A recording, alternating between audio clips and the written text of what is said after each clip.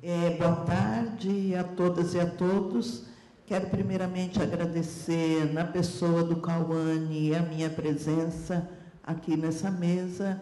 Confesso que pensar a medicalização dentro desse conceito que vocês têm trabalhado esses dias, ela aconteceu a partir desse convite, apesar de que é, esse é um tema que a gente convive cotidianamente, mas parar para pensar, parar para refletir, confesso que é recente. E quero também dizer que talvez quem me convidou, que é o Cauane, e que faz parte da organização, seria a pessoa mais habilitada para estar aqui falar das questões raciais articuladas à medicalização. É, uma outra coisa também é, é do lugar que eu estou falando eu falo do lugar de psicóloga e ativista. Eu sou uma ativista do movimento de mulheres negras e do movimento negro. Então, eu vou falar de um lugar que é um lugar complexo e um lugar de muita resistência da sociedade. Porque eu falo de um lugar de que o racismo existe e, a partir da sua existência, a sociedade vai criando diferentes mecanismos de patologização de uma questão que é social. Talvez é, o meu enfoque esteja mais na patologização do que na medicalização. Mas, como eu compreendo que toda patologia implica num remédio, mesmo que esse remédio não seja remédio concreto, uma pílula, um xarope, alguma coisa dessa natureza, vocês já, quero me desculpar, se eu não atender às expectativas de que esse do tema que esse fórum está tratando. É, é, eu, eu, na verdade, eu trabalho com o tema dos efeitos psicossociais do racismo, então a minha cabeça ela, e a minha atuação é um pouco ao contrário porque eu trabalho na perspectiva e tenho vivido isso há mais de 20 anos, de como o racismo é uma doença social e, a partir dessa doença social, como ele tem promovido sofrimentos e como ele tem estigmatizado historicamente um grupo que compõe essa sociedade. É, todos, né, todas nós, temos presenciado é, os diferentes momentos da história da humanidade, como as atitudes, comportamentos, circunstâncias históricas e políticas têm dado passagem ao aparecimento de diferenças, doenças e diagnóstico que surgem para explicar ou justificar fenômenos sociais que, nas circunstâncias, são considerados problemas. A patologização de fenômenos sociais não é um fato novo e tem servido a diferentes interesses políticos, econômicos, científicos, levando a situações dramáticas e a consequências desastrosas para vidas de pessoas, de grupos, sendo que um dos desdobramentos, e recorrentemente, é a medicalização. É, entre os muitos conceitos, eu fui ler, né, gente? Fui ler sobre medicalização, sobre fórum, enfim. É, então, vou usar algumas passagens, alguns autores, para me dar sustentação na minha reflexão.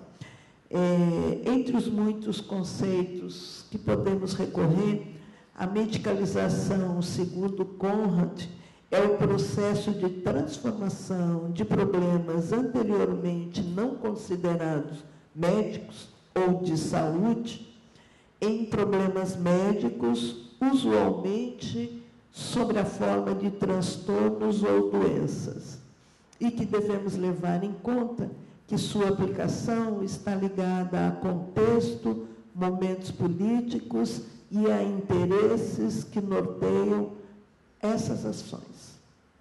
Essa ação não tem deixado nenhum grupo de fora. com os negros não tem sido diferente. A trajetória é longa e tem deixado sequelas profundas, com consequências dramáticas para a população negra. É, eu estou partindo do lugar que racismo existe, não tenho dúvida disso, e é a partir daí que eu vou estar tá situando a minha fala. Embora tenha atuado em contextos em que esse conceito tem sido utilizado para intervenções em grupos, é a primeira vez que, para refletir sobre o tema, sobre essa ética, nesse sentido, minha intervenção será apresentado mais a partir de uma linha do tempo. Eu fui buscando fatos né, na história que pudesse me ajudar a fazer essa reflexão e essa relação entre patologia e medicalização.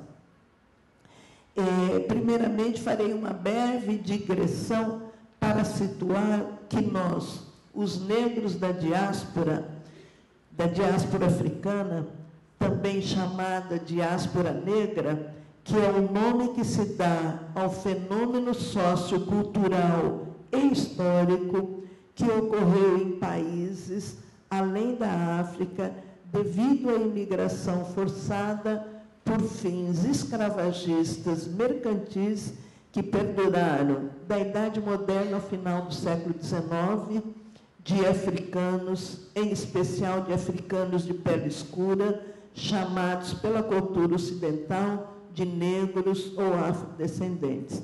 É importante dizer que em África tem negros, mas não só, e que, portanto, sinalizar isso é a gente ter uma ideia da composição racial do continente africano. É, esse processo ele é resultado de um processo de nominação imposto pela Europa ao continente africano e do sequestro e distribuição de nossos ancestrais africanos para todos os continentes na condição de mercadoria, os escravizados. Talvez aqui já tenha algo para a gente refletir: como é que eu tiro alguém do seu país e comercializo ele como se ele fosse peça, como se ele fosse descartável, como se ele fosse semovível. Daí a gente já pode começar a pensar que essa, esse processo histórico ele transforma homens em coisas, portanto, ele desumaniza um povo e um grupo. Embora suponhamos que todos conheçam a história do Brasil, nunca é demais dizer que nosso país foi fundado na violência de negros e indígenas mantidos em condições subhumanas, do pelourinho ao estupro das mulheres negras, passando pela desarticulação das famílias, a utilização de castigos e da tortura como estratégia de implantação do medo, da contenção e da coerção, sendo fomentada a discorda e a delação como elementos de controle. Há quem até hoje diga que a escravidão no Brasil foi branda. Uma das heranças brandas da escravidão nós vivemos no período, desse período da história, foi a retomada da tortura, que nasce no processo de escravização, inclusive utilizando os instrumentais de, cultura, de tortura construído por ocasião do processo histórico, e que largamente foi utilizada na década de 70, 60, com a instalação da ditadura no Brasil. Só para a gente saber que a ditadura no Brasil ela tem história. E essa história ela começa com o processo de escravização de negros nesse país.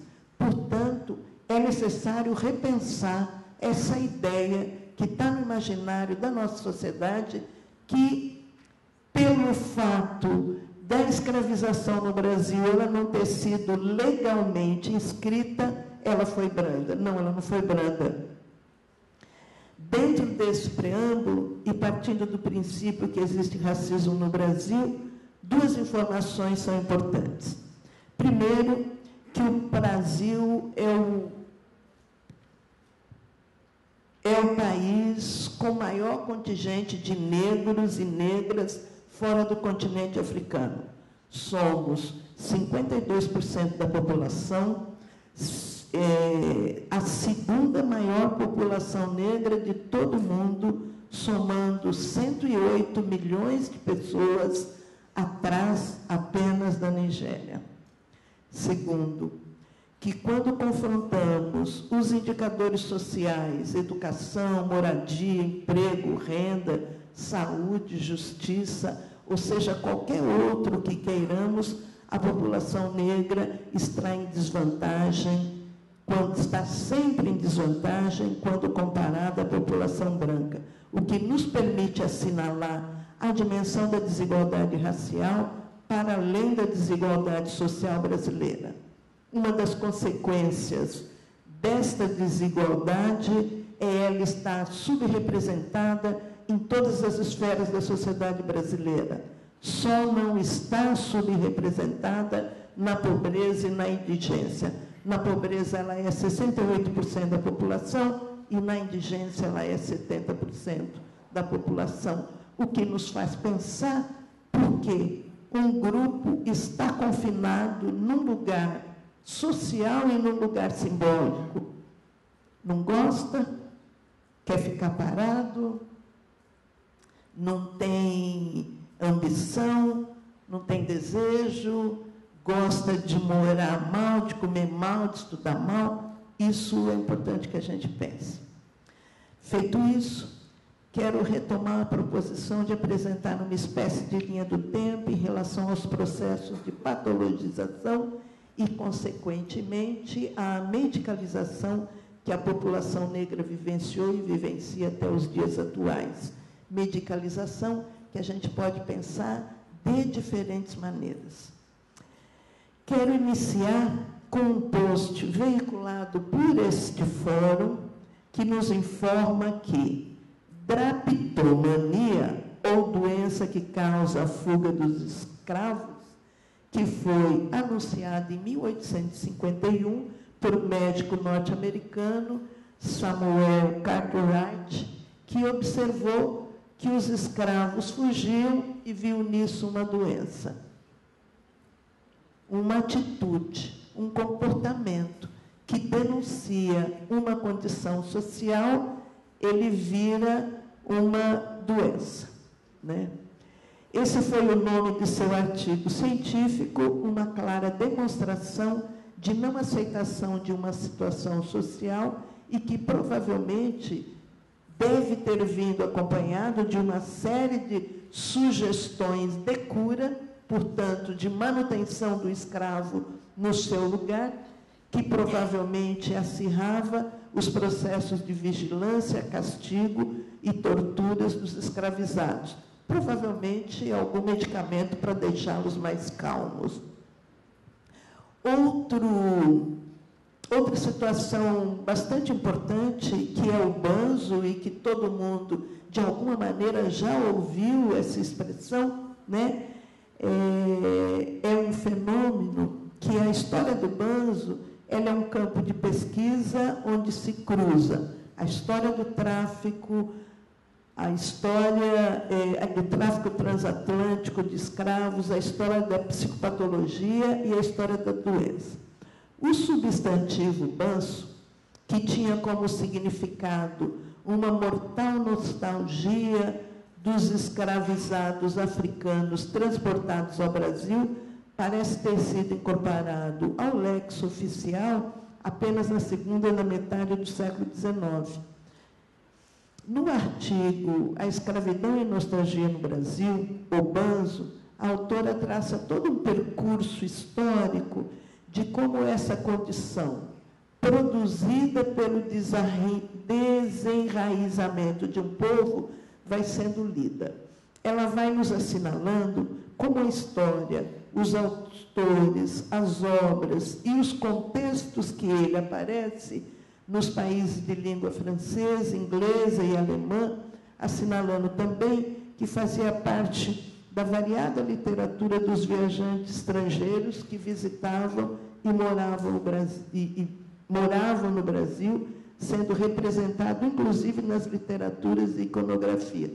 Era visível a manifestação né, dos nossos é, descendentes africanos, do seu desenraizamento e do seu desejo de retorno, que isso foi transformado numa patologia. A palavra tem sua etimologia ligada ao kibundo, mibanza, que significa aldeia, portanto, banzo é saudades da aldeia e, por extensão, da terra natal. Passa a ser caracterizado como uma moléstia estranha, que é a saudade da pátria, uma espécie de loucura nostálgica, suicídio forçado.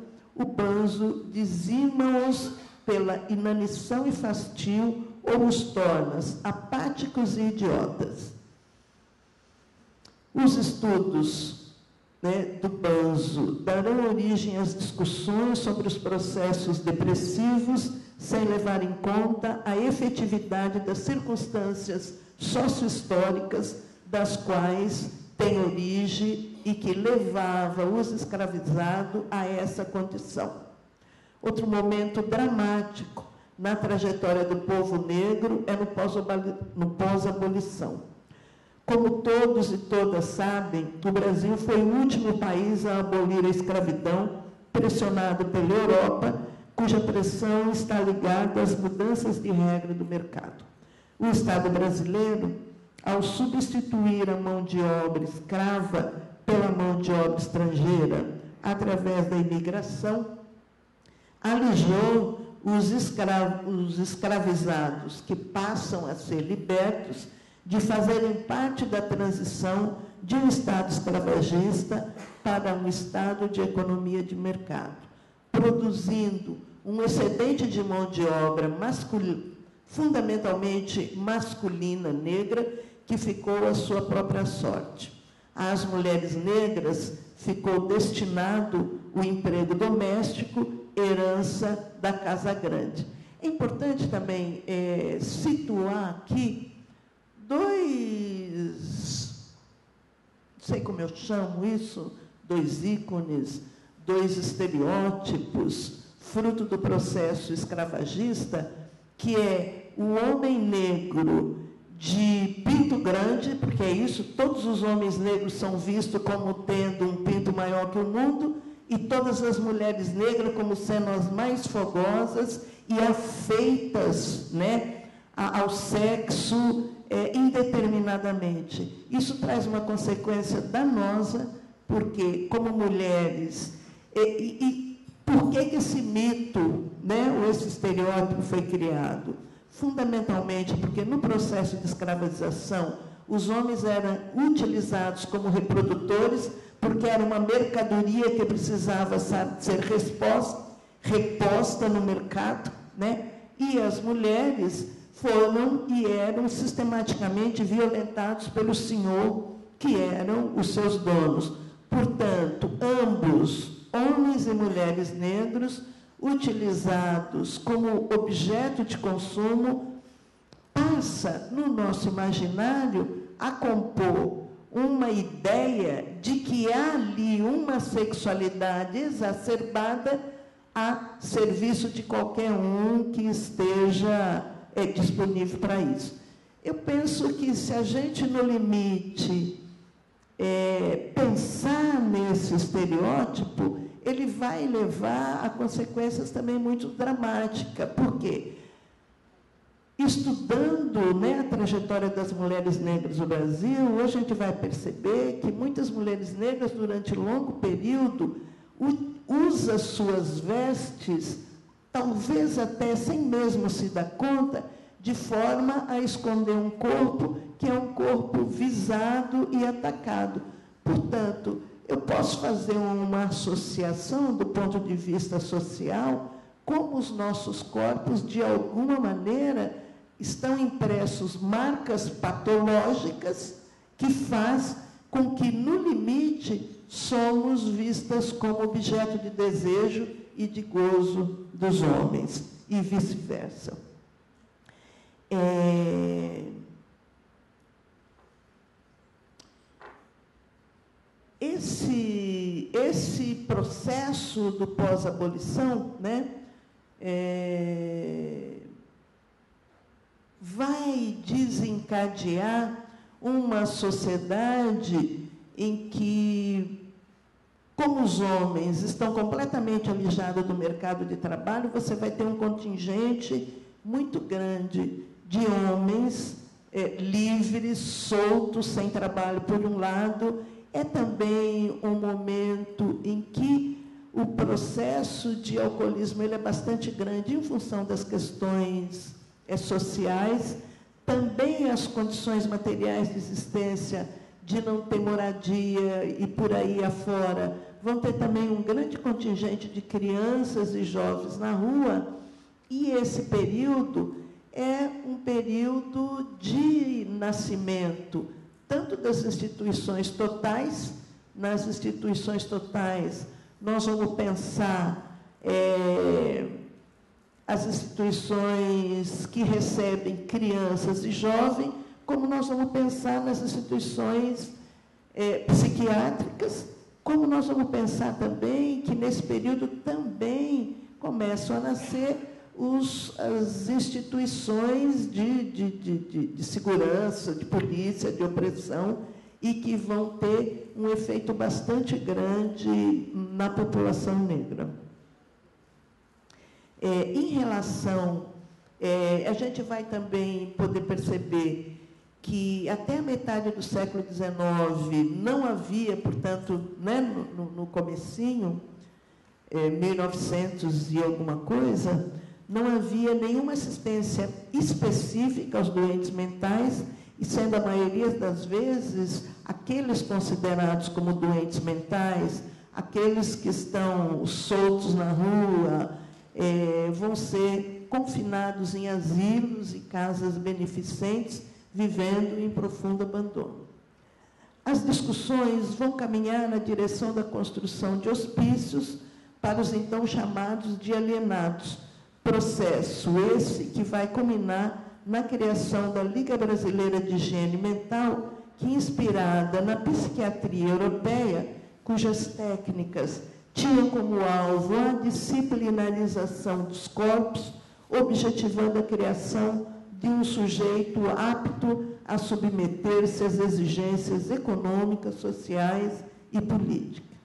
Os programas da Liga estarão baseados na noção de prevenção eugênica, uma clara filiação à psiquiatria nazista, adotando a eugenia como um conceito científico, isso por volta de 1910, 20, 30, que nós vamos, se a gente pensar o que está acontecendo no mundo, nós vamos ter o advento do nazismo na Alemanha. Os projetos da Liga estavam ligados à esterilização sexual dos indivíduos, a pregar o desaparecimento da miscigenação racial entre os brasileiros, a exigir a proibição da imigração de indivíduos não brancos, a solicitar a instalação de tribunais de eugenia, entre outros. Portanto, nós vamos vivendo no pós-abolição todos os processos e importação das teorias eugenistas no Brasil, sendo o povo negro um dos alvos. O alinhamento com a ideologia nazista os aliena da dimensão histórica da cultura em que viviam movidos pela necessidade de modificar a realidade brasileira com a qual não estavam de acordo. Segundo Freire, os psiquiatras acreditavam na existência de uma degradação moral e social por causa dos vícios, da ociosidade e da miscigenação racial do povo brasileiro. A prevenção eugênica destina-se a criar um indivíduo brasileiro mentalmente sadio, mas esse indivíduo deveria ser branco, racista, xenófobo, puritano, chauvinista e antiliberal. Portanto, nós vamos ver aí como todo um grupo racial recebe o carimbo né, é, de que ele é a degenerescência das raças e que, portanto, algo deveria ser feito para que o Brasil fosse branco, né? É, esse período também está acontecendo um grande debate na sociedade brasileira, fruto do processo de término da escravidão, da escravidão e da necessidade de pensar o Brasil que se aproxima da Europa. A política de imigração que proibia a entrada no Brasil de não brancos estava ligada à necessidade de criação de uma nação marcada pela ideologia e o processo de embranquecimento como uma saída. Uma nação que pretendia tirar as marcas da escravidão de sua história. Um processo quase exitoso. Esse momento é um momento não só de confinamento de um grande contingente de homens e crianças e jovens negros que, sem trabalho, perambulam pelas ruas e que eram e ainda são alvos tanto da nascente psiquiatria como das instituições fechadas, cuja FEBEM é a representação máxima. O racismo era o norte e os negros eram os alvos. Alguns paradigmas são criados nessa época que se mantém de alguma forma até o momento atual. Por exemplo, homens negros parados pela polícia sem portar carteira de trabalho são classificados como vagabundo e, portanto, eram e ainda são alvo de aprisionamento, uma clara herança do pós-abolição. Não é à toa que a máxima nego parado é suspeito e correndo é ladrão, que todo mundo conhece e opera com esse ditado, que ainda segue atuando no imaginário social, confinando negros, jovens e adultos, não só nas delegacias, com, assim como sendo alvos de bala da polícia, como nos indica as altas taxas de homicídio entre jovens negros. Eu estou considerando que isso é uma patologização e que o remédio, muitas vezes, é a morte.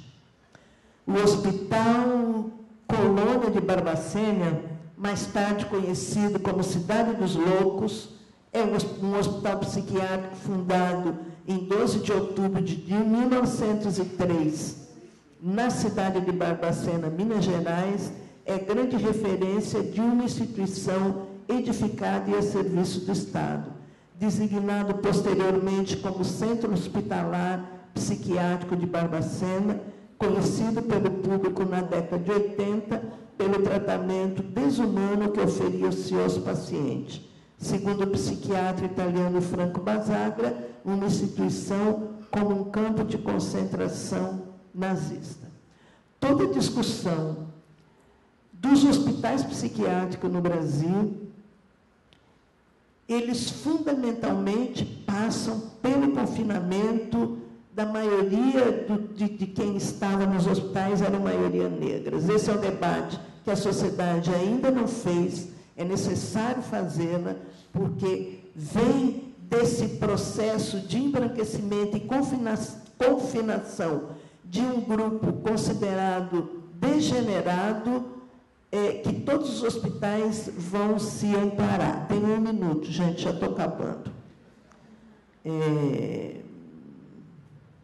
Bom, não vou falar do, do, do, Barbacena, porque esse tem sido uma discussão bastante grande na luta antimanicomial, mas eu só queria frisar que é preciso falar de quem eram os supostos doentes mentais de Barbacena que muitas vezes nem tinha diagnóstico, às vezes, pelo fato de serem mudos, estavam lá, e que, portanto, isso beira a uma limpeza eugênica.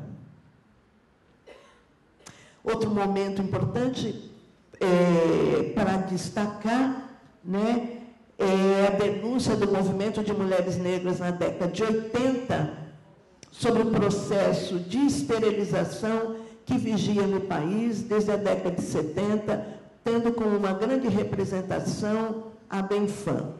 É... O alvo dessa ação foi fundamentalmente o Norte e o Nordeste. As mulheres eram esterilizadas sem ao menos saber o que estava acontecendo. Muito provavelmente o incremento das cesáreas também se dá nesse momento. A justificativa eram que as precárias condições de existência do país era resultado da falta de controle da natalidade e do grande número de filhos que as mulheres negras tinham. E essa denúncia é, é, veio num contexto de atuação das femininas, né, centrada sua atuação no campo da saúde, dos direitos reprodutivos, e que denuncia, em 1982, a partir de um documento apresentado no dia 8 de junho, elaborado pelo economista Benedito Pio da Silva, membro de um dos grupos de assessoria e participação do GAP, do governo de Paulo Maluf, do estado de São Paulo, aonde declaradamente ele queria instituir um projeto de esterilização em São Paulo das mulheres negras. Quero finalizar com uma discussão extremamente atual e premente, que não é, que parece que não sensibiliza a sociedade brasileira, que são os homicídios de jovens negros no Brasil. Morre a cada mês um Boeing de jovens negros que são assassinados pela polícia, pelo tráfico, e que a sociedade, com um imaginário de que homem negro é bandido, é marginal, não se sensibiliza e não se mobiliza para que isso é, finalize. Acho que é uma patologização e o remédio, neste caso e em muitos casos históricos, tem sido a morte. Eu gostaria que vocês pudessem estar alerta e sensíveis para isso, porque nós temos perdido nossos filhos, nossos maridos, nossos sobrinhos, nossos irmãos, pelo simples fato de serem negros. Obrigada.